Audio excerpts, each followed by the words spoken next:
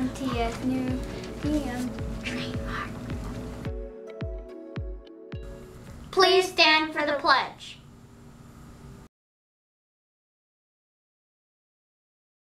I pledge allegiance to the flag of the United States of America and to the republic for which it stands, one nation, under God, indivisible, with liberty and justice for all.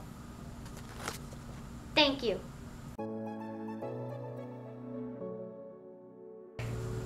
The leader we have it for September is to begin with the end in mind. You should plan ahead and set goals. You should do things that have meaning and make a difference. You are an important part of your classroom, contribute to your school's mission and vision. You should look for ways to be a good citizen.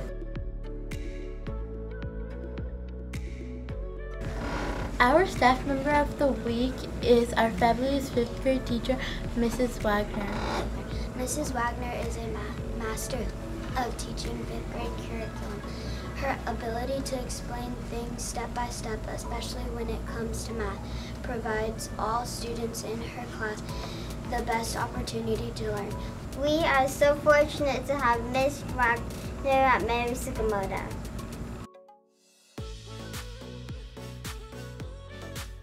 This week we are going to have a spirit wear competition. On Friday, wear Tsukamoto colors, which are teal, gray, white, and black. Class with the highest percentage wins.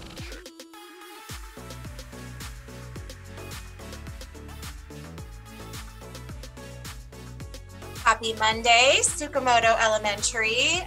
I am Mrs. Vermette, and I'm so excited to see you all for another fabulous week here at school. I know that most of you are waiting very patiently, maybe impatiently, for the announcement of the winner to the Pucker Up Challenge. Which teacher will kiss a goat? Hmm, well, I can tell you this. We had such amazing donations from all of our classrooms that we couldn't pick just one. I know. So listen to what we decided. You're not going to believe it when we announce how much money was raised from all of our classes at the school.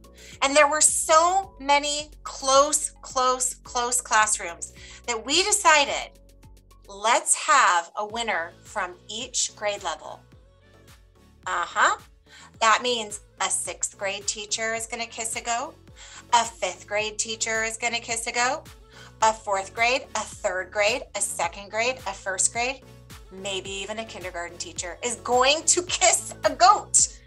So no matter what, you're going to see someone you know and me kiss a goat.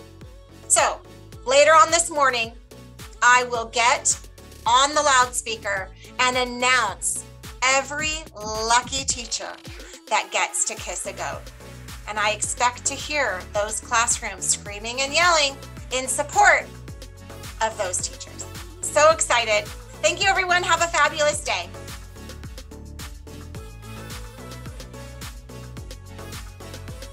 The weather for this week is sunny and comfortable.